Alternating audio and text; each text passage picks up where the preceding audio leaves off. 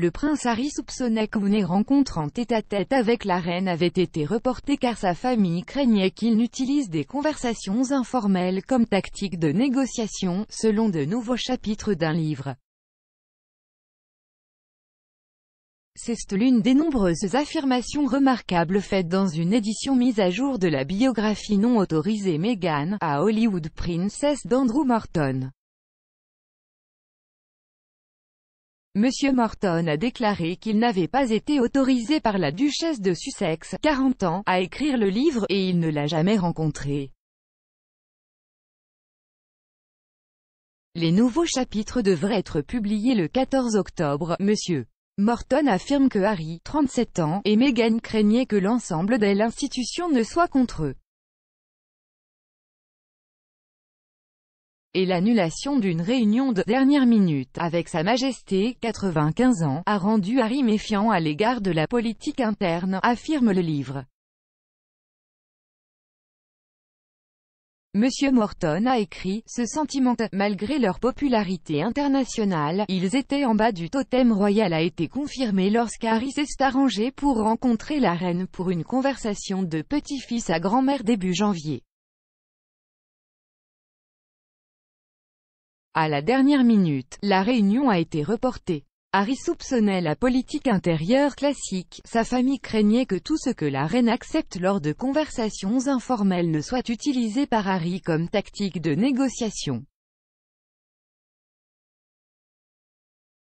Monsieur Morton a également écrit, le couple royal soupçonnait toute l'institution de conspirer contre eux.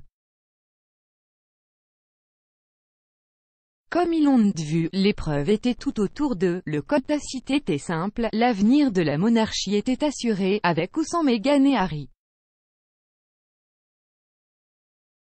Le 8 janvier 2020, l'intention de Harry et Meghan de prendre du recul en tant que membres seniors de la famille royale a été annoncée.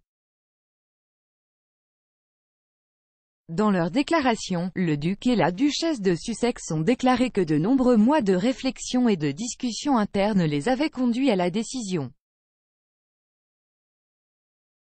En février 2021, Harry a parlé à James Cordon à ce sujet, il a déclaré à The Last Show, cela ne s'éloignait jamais.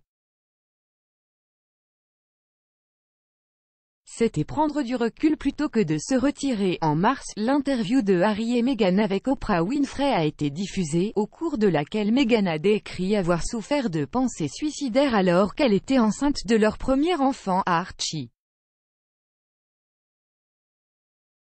Le duc et la duchesse ont affirmé que Meghan aurait pu recevoir un meilleur soutien de l'institution alors qu'elle luttait contre sa santé mentale. Ils ont également affirmé qu'une membre de la famille royale, qu'ils n'ont pas nommé avait fait des commentaires racistes sur leur enfant à naître. Buckingham Palace a déclaré en réponse aux allégations faites dans l'interview que les souvenirs peuvent varier, mais que les problèmes seraient traités en privé. Harry et Meghan vivent à Montecito, en Californie. En juin, ils ont mis au monde leur première fille et leur deuxième enfant, Lilibet Diana. Les représentants du duc et de la duchesse de Sussex ont été approchés pour commentaires.